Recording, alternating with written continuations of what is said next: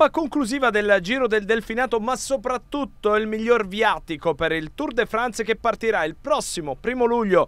Giulio Ciccone vince prendendosi la Bastiglia di Grenoble nella frazione più dura, l'ottava, che ha confermato in giallo Jonas Vingegaard. Oltre 4.000 metri di dislivello affrontati con 37 km di salita sui 153 complessivi e col trittico Col du Grenier, Col du Coucheron e Col de Port prima dell'ascesa conclusiva fino a Grenoble. Tappa che ha visto l'attacco di nove corridori, tra i quali proprio Giulio e un altro italiano, Matteo Trentin, che però non riuscirà a tenere le ruote dei fuggitivi. Rimangono in cinque infatti al comando con Ciccone, Benot, compagno di squadra del leader danese, alla Philippe, Champoussin e Castrovieco.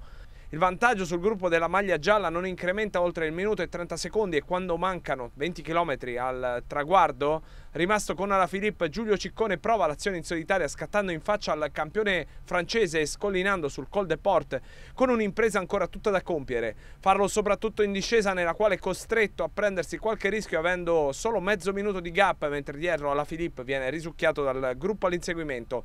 Ma è sull'ascesa conclusiva che Ciccone resiste malgrado le pendenze, nonostante dietro Vingegaard, pur senza alzarsi sui pedali, aumenta l'andatura lasciando tutte le sue spalle. Non Giulio che va a prendersi una frazione che conferma come il Covid abbia privato il Giro d'Italia di un potenziale protagonista assoluto della corsa rosa.